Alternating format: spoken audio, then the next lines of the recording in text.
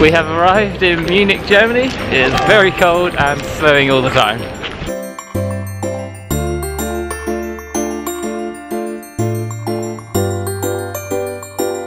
Usually we really like markets and local food, but it's just too cold. Oh, so cold. and snow keeps going in our eyes. Not so nice.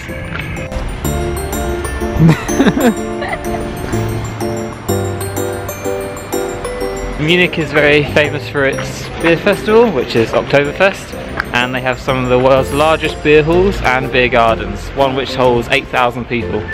So we're going to go visit one of them now.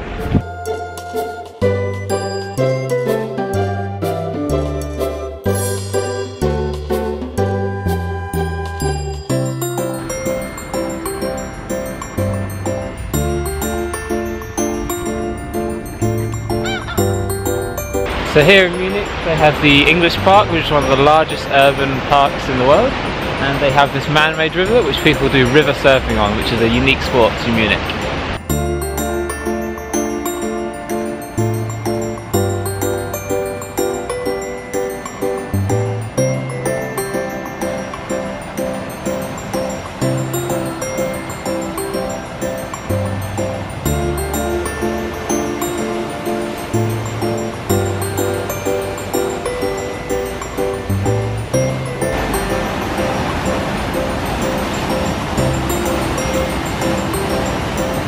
Oh, cold, I don't get how we can do it.